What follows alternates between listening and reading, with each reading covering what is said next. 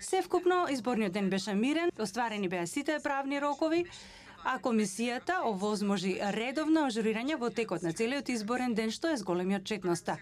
Нашите наблюдувачи позитивно го оценија гласањето и во најголем дел од изборните места тајноста беше општо одржана. Меѓутоа беше забележено семено гласење и следење на број на гласачи. Бројот на пребројување на гласовите беше понегативно оценет во 10% од изборните места поради грешки во процедурата или остварување на повеќе постапки истовремено. Во отсутство на сеопфатна рамка, то се остава простор за вмешување на политичките партии врз основа на нивната застапеност во парламентот.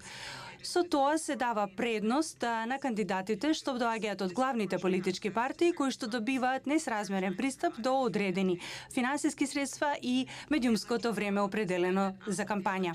Исто така голем број на новински портали онлайн направиле кампањи чисто за да добијат државни финанси во текот на предизборната кампања и понекогаш овие фондови не завршувале на точно место.